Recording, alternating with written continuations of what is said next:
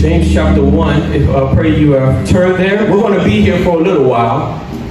Uh, we're in our new sermon series here. We're going to be going through the book of James.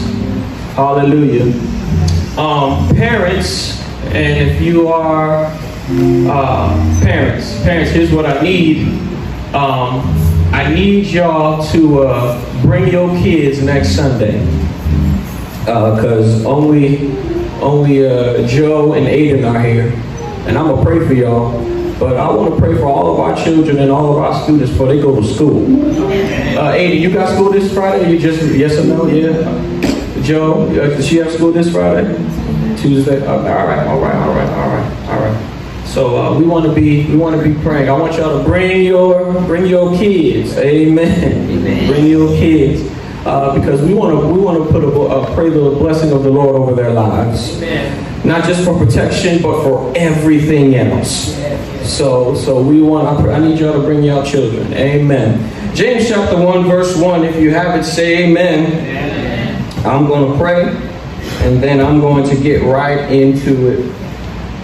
Father, I need you, as I always do, and I'll never get up here and act like I can. Uh, I can preach without you because I can't. I can't lead without you. I can't do anything without you. And so, Father, now I pray in the name of Jesus, give me grace to preach your word. God, uh, would you shut the mouth of the devil even now? Satan, the Lord rebuke you. Any words of distraction, anything that will hinder anybody in here from hearing what you have to say, Father. I pray remove all distractions, remove all uh, uh, lingering thoughts, God, so that we can hear what you have to say. Father, I pray be with me. Give me clarity of thought, concision of speech, and conviction of heart to preach your word. Give me strength, God. And I pray now, Holy Spirit, have your way. Christian is sitting down. You stand up.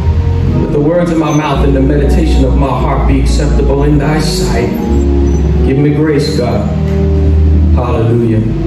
And Lord, I pray anything you have me to say, bring it to mind by your Holy Spirit. Anything you don't have me to say, remove it from my mind. But let your people be edified, sanctified, as you are glorified. We love you, we thank you, and we ask all these things in Jesus' name. Let the church say amen. Amen. James chapter 1, verse 1. You can leave it right there because that's all as far as we're going.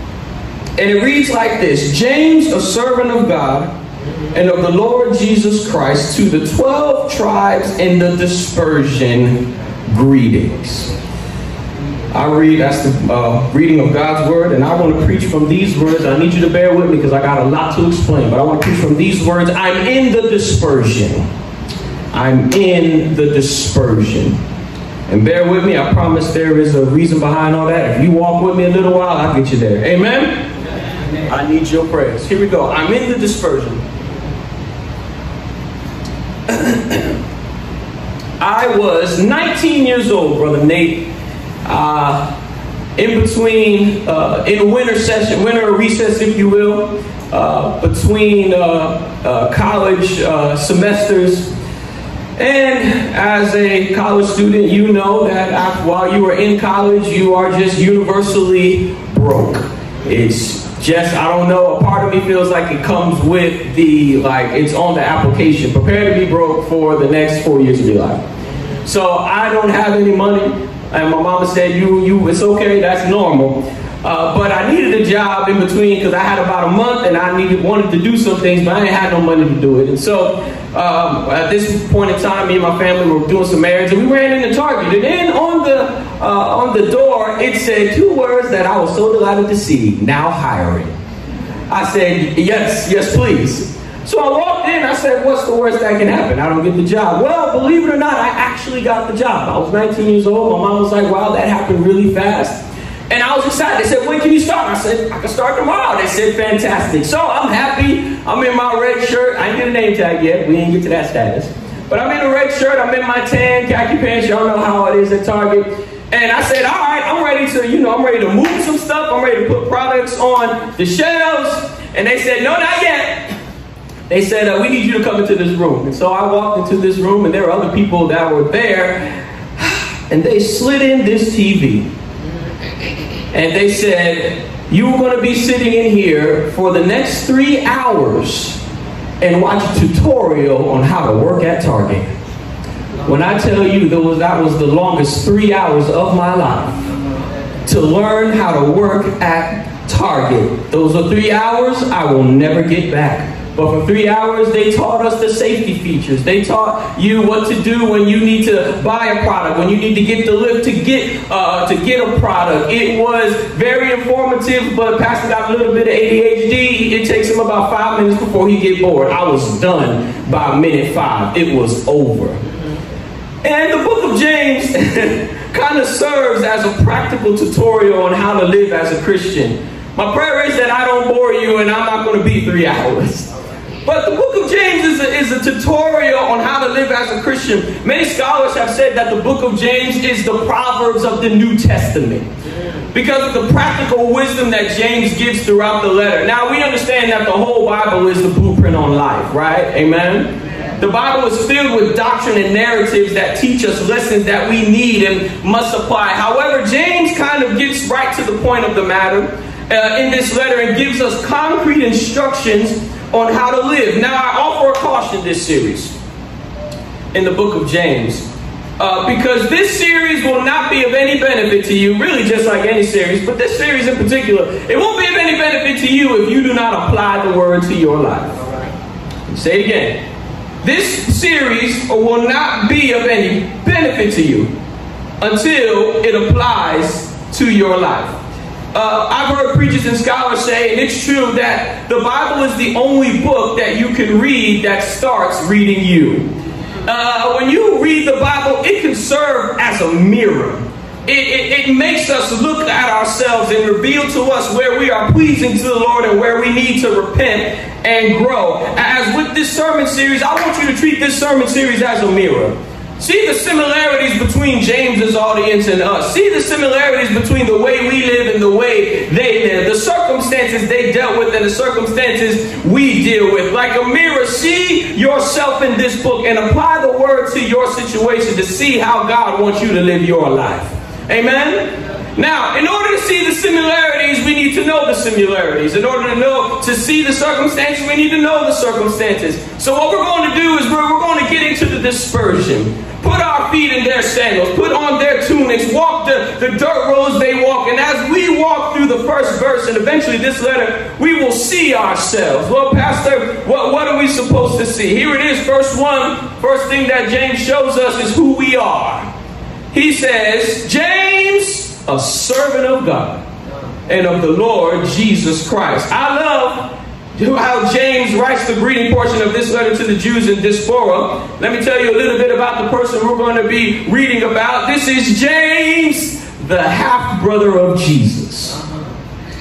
Now remember, this, this, He's the half brother of Jesus, and, and, and mind you, I'm not talking about a brother in the Lord. I'm not talking about through the uh, through the cross. No, this no him and him and uh, uh Jesus got the same mom, same mama, different dad, same mama. How ironic is that? Same same same mama. And and and now James is getting ready to write to the people in the diaspora. I'm going to explain that in a minute. But that word diaspora, it means scattered seed. I'm going to get to all that in a minute. Just stay with me. But James is the half brother of Jesus, and he's writing to the churches in the diaspora, and he says, "Hey, uh, uh um, I, I want to give you some encouragement and admonishment." But as he writes the letter, he introduces himself as uh, James, a servant of God. Now, I'm going to be honest with you. If I was, if I was him, and y'all pray for Pastor. But but if I was him and I knew and, and they knew that James, that Jesus was my brother, I, I'm not gonna write servant of God. I'm gonna write James, the brother of Jesus. I, I, I and then write a little resume. I I I uh, wore his clothes. Right? We did chores together. Right? We argued a little bit. Like like I would put all that down so that it will show and give credibility to the people I'm writing to, but that's not what James does. James says, I'm not going to, I'm not going to uh, introduce myself that way. I'm not going to use, uh, drop any names to validate why I should be a pastor over you. No, but what James says is, James says, I am a servant. Hallelujah. Stay with me. Why did he do that? James calls himself a servant because he's humble enough to realize earthly credentials are never accredited in the kingdom. Let me say it again. Are y'all with me this morning? Our earthly credentials, help me Holy Spirit, are never accredited in the kingdom. In other words, we learn from James's greeting that everyone in the kingdom is a servant. I said, everyone in the kingdom is a servant. It doesn't matter your family. All right, I'm gonna get in trouble now. Your education, your status, your money, your church office, or your gift. When we come to know Jesus as Savior, we all have one title that is recognized in the kingdom. Are you ready? Here it is servant. You may have a different office, you may have a different gift, and yes, those offices in the church need to be respected, and yes, those gifts need to be stewarded well. But at the end of the day, the kingdom does not look at you, and God is not going to look at us and say, Well done, well done, good and faithful pastor. He's not going to say, Well done, good and faithful prophet. He's not going to say, Well done, good and faithful musician. Well done, good and faithful singer. Well done, good and faithful teacher. He's going to say, Well done, good and faithful servant.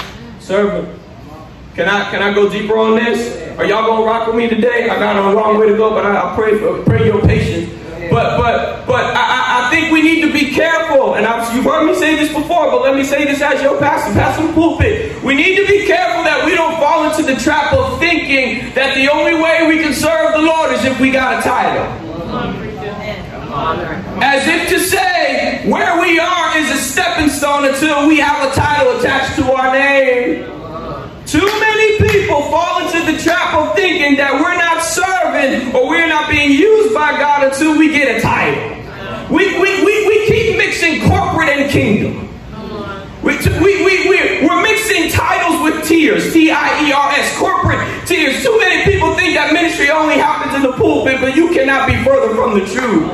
God says when we come into the kingdom, we all are servants. Yes, different offices, yes, different gifts, but in here, God is calling all of us servant. Amen. And while we are on the subject, let's talk about what a servant is. That word servant is essentially means to be a bond servant. Uh-huh. It means that the servant has no ownership or rights or privileges of his own, but he belongs to the person that bought him. Now, when we hear this, especially as black people, we, we get trigger words. We say, wait a minute, because we, under, we begin to think about what our ancestors went through, but that's not what this is. Amen. Let the church say amen. amen. That's not what this is. But we were redeemed by our Savior. The Bible says we were bought with a price. Our lives are not our own. When Jesus died, he rescued us from sin, adopted us into his family, and brought us into his kingdom by the blood of Jesus. And now we live to serve him. Notice in verse 1, he says, James, a servant of God and of the Lord. Let the church say Lord. Lord, Lord Jesus Christ. That word Lord means master. In other words, watch this. Here, here's the hard part, and here's why I'm telling you, you need to apply this for your life. The, the, we, we, we must understand that Jesus is not just the Savior of our lives, saving our souls, but He is also the Master of our lives, meaning He has authority to tell us what to do. Okay. Uh, uh, uh. Jesus did not just come to save your soul, but He came to exercise authority over our lives for our ultimate good and His glory. So Psalm 23, which is widely a widely known passage of scripture that everybody knows, there is a beautiful relationship between the shepherd and the sheep. The shepherd's job is to lead, protect, and provide. The sheep's job is to follow, trust, and obey. Watch this. If the shepherd does not lead, protect, and provide, the sheep cannot follow and trust and obey. If the sheep do not follow, trust, and obey, the shepherd cannot lead, protect, and provide. And it's the same with our relationship with Christ. If God, if we are not, uh, if we are not uh, uh, trusting, and obeying, then God cannot lead, protect, and provide. And when we are submitted to the lordship of Jesus Jesus Christ, we are assured that whatever He tells us to do, wherever He asks us to go, He is going to lead us, He is going to protect us, He is going to provide for us. But the only way He can do that is if you follow, trust, and obey. All right, all right. Am I making sense? Let me give you an example because I got to move on. I got a lot to get to. There was a Christian rapper, goes by the name of KB, very excellent rapper, but he has this podcast called Southside Rabbi. I suggest you take a listen to it. Southside Rabbi, he lives in Florida, and he tells this story uh, about uh, how this, he has this game with his son. Uh, and what he does is uh, to keep his son occupied, He'll tell his son, he says, son, uh, go touch that stop sign, right? He'll just give him random orders to do just to keep him going. And so he'll say, son, give me 10 jumping jacks. And they'll be in the middle, middle of Walmart. And then you see this little boy just doing jumping jacks. And he'll say, son, give me five push-ups. And he'll go give five push-ups. Run over there, run back, and you got 10 seconds. Stuff like that. Well, this particular moment, they're outside. They just walked out the door. And he says, son, go run to that stop sign and he runs full speed to the stop sign. Now, at the time when the when the when KB the rapper gave the uh, gave the order, uh, uh, the, there were no cars coming around. The stop sign is, on, is across the street, and he said, "All right, yeah, it was probably bad for me to do that, but I did it." And he didn't see any cars, so the boy was running straight for the stop sign. But lo and behold, as the son was running, a car was coming. And so immediately, as soon as he saw the car, he yelled at the top of his lungs, "Stop!" And his son stopped immediately. His point was this if my son didn't learn how to obey me, my son would have gotten hurt. It's the same with you. Anytime God tells you to do something, it's for His glory and for your good.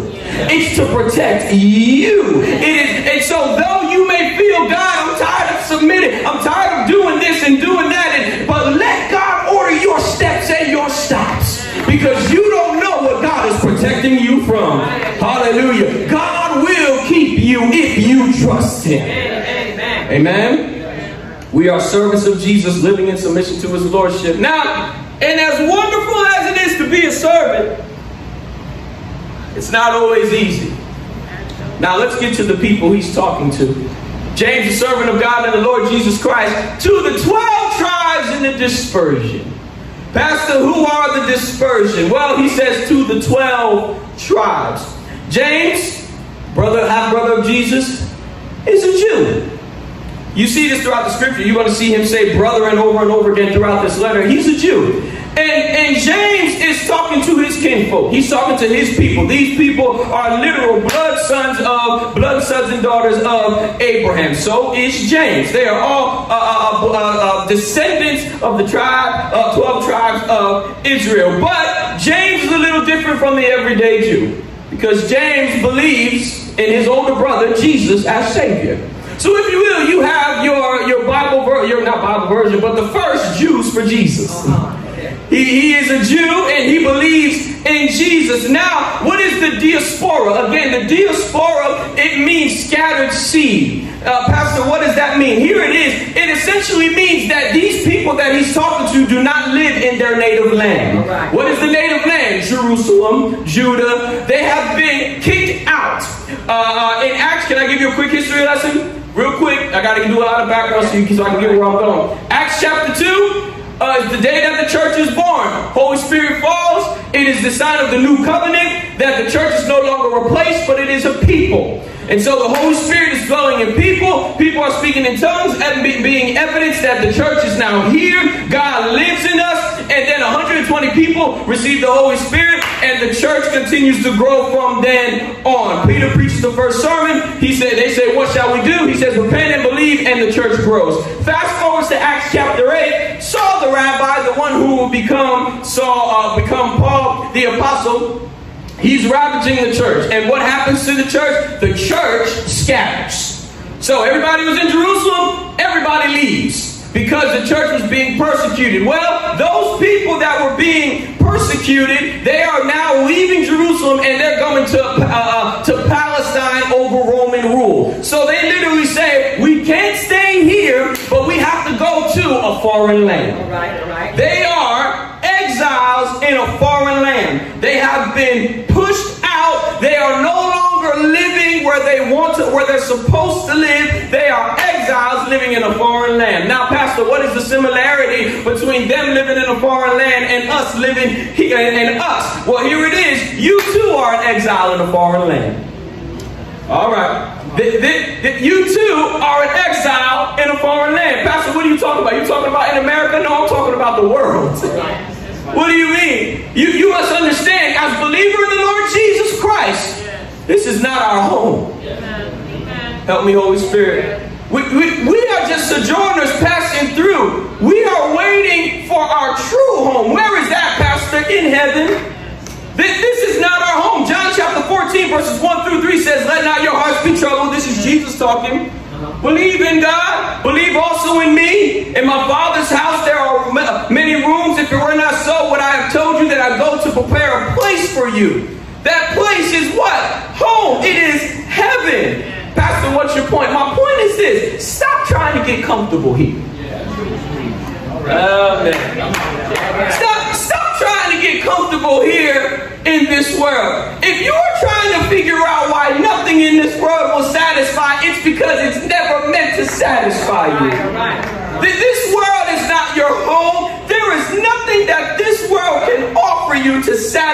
your longing. Are you hearing what I'm saying? You will never be comfortable in this world. Jesus is the only one that can satisfy your soul, and heaven is the only place that you can call home. Are you hearing me? C.S. Lewis, a uh, uh, uh, Christian apologist, wrote this, late Christian apologist wrote this. Most people, if they had really learned to look into their own hearts, would know that they do not want and want acutely something that cannot be had in this world. There are all sorts of things in this world that have offers, but they never quite keep their promise. If I find in myself a desire which no experience in this world can satisfy, the most probable explanation is that I was made for another world. Pastor, what's your point? C.S. Lewis is simply saying this this world will never satisfy. Pastor, give me some examples. I will. Have you ever tried to realize why is it that all the billionaires in the world have the most money, have everything they want, and they still end up depressed? Have you ever wondered why people are in are in uh, relationships that you envy, and yet you still trying to figure out why they're sad? Have you ever looked at people and you said, "You got everything that I would like, but every time I see you, you sad about it"? Why? Because none of those things are meant to satisfy you. Nothing in this world will satisfy but Jesus. And the only home that's made for you is heaven. Let the church say amen. amen. Now, we, we, will, we will never be comfortable in this world. We are exiles living in a foreign land, but we're also outcasts to society. Now I gotta, I gotta, I want to move quickly because I've already, I don't have a lot of time left. But here's, here's, we already know about the Jewish Christians. They are in Palestine. But there are people waiting for them when they get there.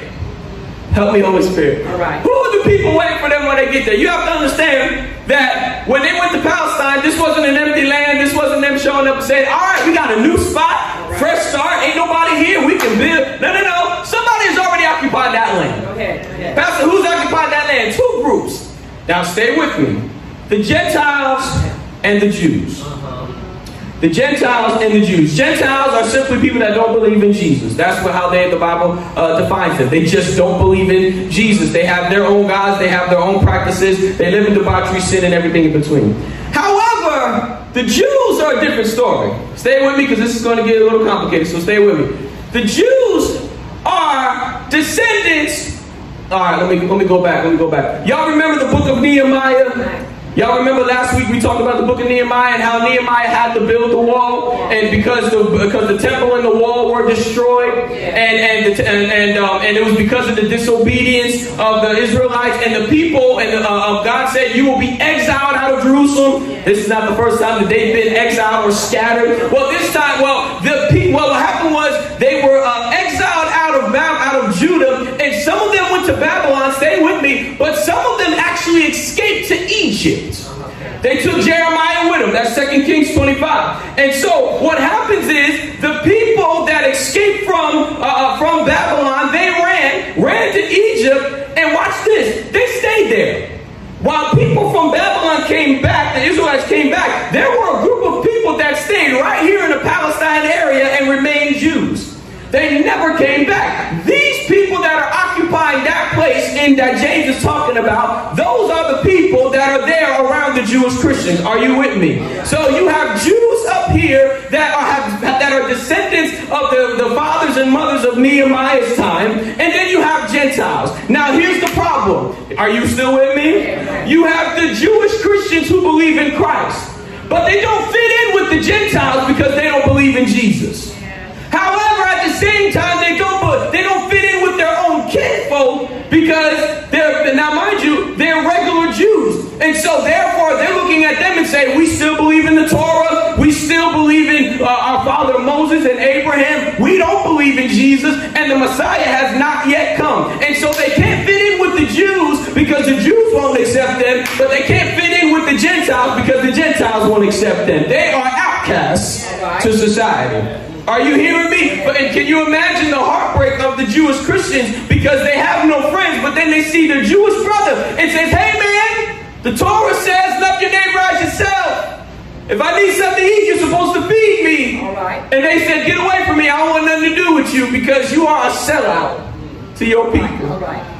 You're not going to help. We don't want to help you, and we don't want nothing to do with you. And so now, not only are they exiles, but they are outcasts. Nobody around them wants to be with them. They don't fit in anywhere. Have you ever felt like that? It just seems like the, that the moment you gave your life to Jesus Christ, it just seems like you became the odd man out. Oh man, y'all gonna help me preach. Uh, uh, uh, uh, it just seems like, you know, now you, you, everybody go to the club and they leave you home. Y'all not gonna be honest with me. You, you, you used to be the first to take them shots, but now you, you asking for soda. Y'all gonna act, if we gonna be a church of discipleship, you gotta be real. I, I, you used to be the first to do everything, but now it just seems like I'm the outcast because I believe in Jesus. I used to be able to relate with people, but now Jesus and they're not. You, I used to laugh at some things that are inappropriate, but it's not funny anymore. Right. People are saying you changed, and I'm like, yeah, I have changed because I gave my life to Christ. Have you ever felt that way? If so, it's okay. You're in good company. Yeah. When you believe in Jesus, you're not going to fit in because you stand on the Word of God. You stand on His Word, and the people of the world are not going to be able to relate with you because your philosophies are different. Your lifestyle is different. Everything about you is different. Why? Because you stand on the Word of God. Unfortunately, I hate to tell you this, but you're not going to fit in. Okay, go ahead, go ahead. But don't be dismayed. Don't be upset. Because you must realize you're, you're, you're not so much an outcast, and forgive me for calling you that. You're not an outcast, but what you really have, what really has taken place is you've changed positions. You're no longer a follower, you're a leader now. Ah. Stay with me. You see, the people of Israel were supposed to be the representatives of God on earth. They were supposed to represent the kingdom of God wherever they want. That was what the people of Israel are meant to do, and that is what we are meant to do. We are supposed to be the leaders. We are supposed to be the example. We are supposed to be the people that show people the way to Christ.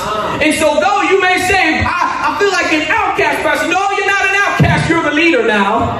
Hallelujah. I know you used to be, you used to feel like I was in the crowd, I was with everyone. That's because you were a follower. But now that you are a leader, it's going to feel like you're the anomaly. Hallelujah. I feel my help. It feels like that nobody else is with you, but that's because you're showing them the way and everybody else should be following. All right, yeah, go ahead, Pastor. My, my family and I, we, we took a trip to, uh, to Florida, and uh, we got in the TSA line.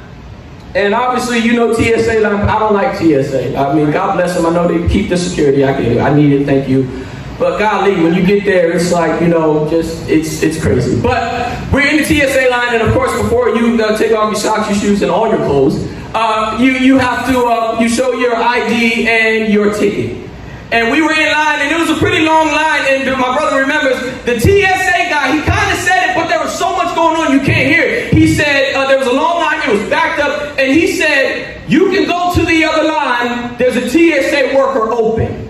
Now, mind you, people are scared. They're like, I don't want to go because if I go, what if they put me in the back of the line? I miss my flight. I don't want no problems. And my brother looked at me and he said, Go on to the next one.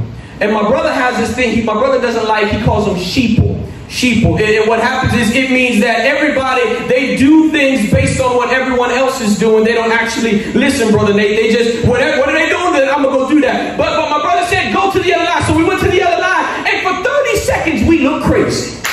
I feel my help. For 30 seconds, we looked like we did something unorthodox. For 30 seconds, it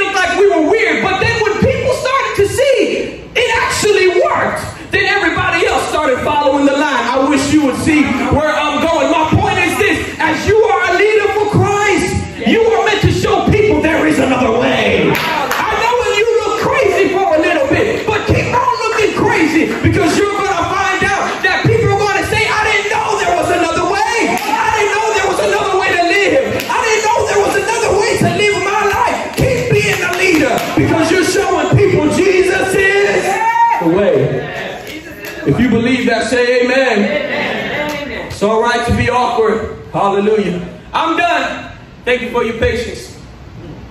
Jewish Christians are living in a foreign land. They're outcasts, but they're at war on every side. Everything around them is screaming, turn to sin, forget Christ. They're tempted on every side. They're tempted by the world, tempted by the people. They're tempted in the flesh. They, to the right, when they walk down the street, you get false god, uh, false gods and temple prostitutes. Uh, to the left, you get witchcraft and, and uh, witchcraft and, and uh, um, if you will, uh, fake prophets all around. And to make matters worse, believe it or not, uh, uh, uh, they, they are severely oppressed. Remember, they moved to Palestine. They are in a place that they don't like. They are around people uh, that don't like them. And what happens is, what they are doing is the people know who they are, so they are oppressing them. The Gentiles are, then the Jews are the ones that run the town. And so when the Christian Jew says, hey, I need a room, can you help me? They say, okay, hold on, we got a list. But then another person that comes in is a Gentile or a Jew, depending on who the person who runs the place. They say, we have a room just for you. But I've been waiting in line. No, I, I, I no, I want this guy because they've been oppressed. They literally are looked over. They can't get a house. If they do get a house, their interest payment is, is skyrocketed versus the person that's been a Gentile. Are you hearing what I'm saying? When they need to get a job, they are more qualified for the job, but they are overlooked. Why? Because of because they're Christian. All because of the fact that they believe in Jesus. They are hit on every side. They are homeless. They are fighting for their lives. And to be honest with you, I feel like the biggest thing that they're tempting with, being tempted with, is what we deal with all the time. And you may not agree, but maybe you will secretly. They're being tempted to give up. Stay with me and I'm done. You have to understand that they're being tempted to say, you know what? This whole Jesus thing, it's causing more harm than good. You have to remember, the reason why they were kicked out of, out of Jerusalem in Acts chapter 2 was because they were Christians. The reason why they are outcasts is because they believe in Jesus. The reason why they ain't got no friends is because they believe in Jesus. It seems like everything around them is because of the fact they believe in Jesus. Uh, you know, they're probably saying to themselves, I was good until I got to this Christ thing. I was fine until I started to confess this Jesus. You know, and, I, and, I'm, and I'm done with it. And I, and I say this, uh, I say this to you, and I'm, I'm almost in my seat. I don't care how long you believed in Jesus. I don't care how long you've been in the church. I don't care how long you've claimed to walk with the Lord. We've all had a temptation every now and again to say, I'm ready to give up. We've all had a temptation that says, you know what? Even if it was for a second, we've said, you know, I'd probably be a little better if I didn't come to church on Sunday. At least I can lay in the bed and sleep a little longer. Y'all not gonna talk to me because you don't want to be honest. I'll be honest. There's some days I'm can somebody else preach? I'll be transparent if you won't. Is that is that can we do something else? Because it seems like the more I do this, the worse life gets. Some of us are saying, I'm not just done, Pastor, I'm overdone. I quit. I surrender. I'm waving the right flag. I'm tired of fighting. What do you do when everything around you is saying throw in the towel? What do you do, Pastor? Here's my advice to you, and I pray that you stay come next week for the series. You need to hold on, man. Don't give up. And I know you're saying, Pastor, that's easy for you to say. No, hear me. Don't give up because you, you, how else will you see what God is doing in your life? What do you mean by that? I want you to say right there, God, we don't, we're not going anywhere. But look where it says, to the 12 tribes in the dispersion. You remember what I said the definition of the diaspora was, or dispersion? Scattered seed. Y'all remember? It means scattered seed. Pastor, what are you getting at? Because it seems like they are dealing with issues that are out of control. They're, they're, it, it, cause, because seeds uh, uh, uh, don't scatter on their own. Seeds are thrown. Yes, yes. Stay with me. Seeds are not seeds don't just fall out of the sky. Somebody has to throw them in order for them to be scattered. And it feels like all these random things are happening out of nowhere. It seems like the circumstances are out of control. Or maybe I can talk to you. It seems like your life is out of control. Your circumstances are out of control. It seems like all these things are happening, happening randomly, but I argue that these things are not happening randomly. You are not being scattered, but you are being purposely planted. You have not been randomly thrown, but you have been purposely placed to bear fruit. Watch me. Could it be, and I suggest to you, that maybe God has allowed these situations to take place in your life so that you can bear the fruit that He wants you to bear? Yes, yes. Seeds are planted to bear fruit. Uh-huh. Watch me. Could it be that God has allowed these situations to take place so that you can draw closer to Him? Could it be? I know it's not popular, but it's the Bible. Could it be that God has allowed those things so that you would pray more? Could it be that God has allowed those things because He wants to draw you closer? Could it be that God has allowed these things because He wants you to bear fruit? Pastor, give me scripture to back it up. In the second verse, James says, Count it all joy when you face trials of various kinds. For you know the testing of your faith produces steadfastness. The Lord is growing your faith. And though you feel like all these things are happening randomly, no, I encourage you, hold on, child of God. God's going to see you through. Thank you, Jesus. Hold on, child of God. God's going to see you through. Hold on to His word. God is growing you. Keep on praying. God is holding you. God is growing you. Don't throw in the towel yet. All right, all right. Because you got to see how God is finished, how God's going to finish up His work. I'm in my seat. I told this story before, and as I'm getting ready for work, I know I'm getting ready to deal with this child again. Ahead, go ahead. Yes, sir. Lord, y'all pray for your pastor. right. Hear Getting ready to deal with this child again. There's this one child who every uh, every time in uh, when we get to school, he loves to play with the Legos because he loves to build. Very bright child. He bad, but he very bright, very smart, and he always wants to build cars. That's his thing. Uh, and so we give him Legos. He builds up the car, and he takes. I mean, he takes his time. And for a five-year-old, he's very smart. And he says, "This is the rudder. This is the the four wheels. This is four-wheel drive." And I'm like, "How do you even know what all-wheel drive is?" But whatever.